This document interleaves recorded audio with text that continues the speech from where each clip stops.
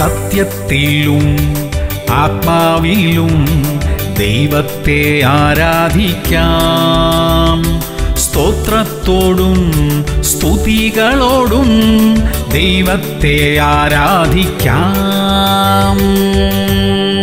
മത്തായി പതിനഞ്ച് ഒൻപത് മാനുഷ കൽപ്പനകളായ ഉപദേശങ്ങളെ അവർ പഠിപ്പിക്കുന്നതുകൊണ്ട് എന്നെ വ്യർത്ഥമായി ഭജിക്കുന്നു. പ്രിയമുള്ളവരെ ഒരു വ്യക്തിയുടെ ജീവിതം എങ്ങനെ ആയിരിക്കണമെന്നും എന്തെല്ലാം ചെയ്യണമെന്നും എന്തെല്ലാം ചെയ്യരുതെന്നും തിരുവചനം നമ്മെ പഠിപ്പിക്കുന്നു. വ്യക്തികളോ സഭകളോ സംഘടനകളോ എന്തുപദേശിക്കുന്നു എന്നതല്ല തിരുവചനം എന്തു പറയുന്നു എന്നതാണ് നാം അനുസരിക്കേണ്ടത്. ആചാര അനുഷ്ഠാനങ്ങൾക്കല്ല തിരുവചനത്തിലെ കൽപ്പനകൾക്കാണ് നാം വില കൽപ്പിക്കേണ്ടത്. നാം ശരിയെന്ന് വിശ്വസിക്കുന്നത് തിരുവചനപ്രകാരം തെറ്റാണെങ്കിൽ നമ്മുടെ തീരുമാനം മാറ്റണം. പ്രാർത്ഥിക്കാം. സ്വർഗീയ പിതാവേ അവിടുത്തെ വചനത്തെ അനുസരിച്ച് ജീവിക്കാൻ സഹായിക്കണമേ. അതിന് വിരുദ്ധമായി മനുഷ്യർ പഠിപ്പിക്കുന്നതിനെ ഒഴിഞ്ഞുപോകാൻ കൃപ തരണം കർത്താവേ. യേശു ക്രിസ്തുവിന്റെ നാമത്തിൽ തന്നെ. അമേൻ അമേൻ അമേൻ